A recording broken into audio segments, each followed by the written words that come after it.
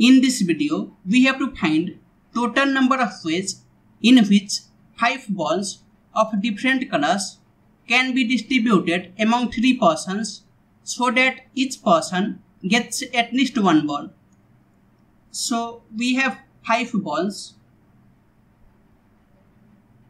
and 3 persons. So the case 1 is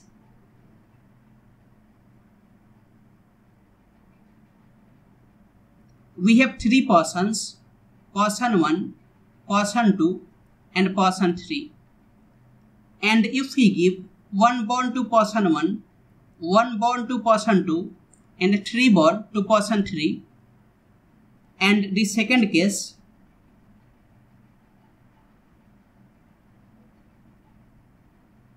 we have three persons person 1 person 2 and person 3 and if we give one bond to person 1 two bond to person 2 and two bond to person 3 there is only two possible cases.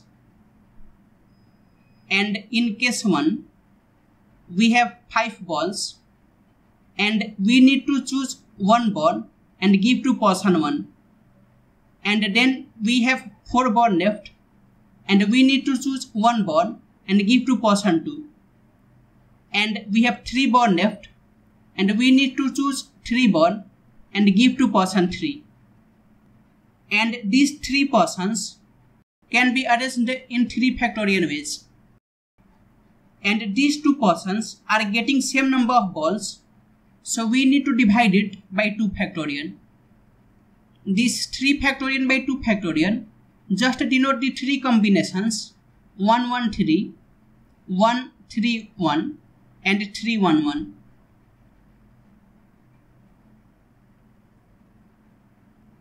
So it is 5 times 4 is 20 times 1 times 3 that is 60 and in this case we have 5 balls. And we need to choose one ball and give to person 1 and we have 4 ball left and we need to choose 2 ball and give to person 2 and we have 2 ball left and we need to choose 2 ball and give to person 3 and again these 3 persons can be arranged in 3 factorial ways. And these 2 persons are getting same number of balls so we need to divide it by 2 factorial. So it is 5 times 6 that is 30 times 1 times 3. So it is 90. So total number of ways will be 60 plus 90 that is 150.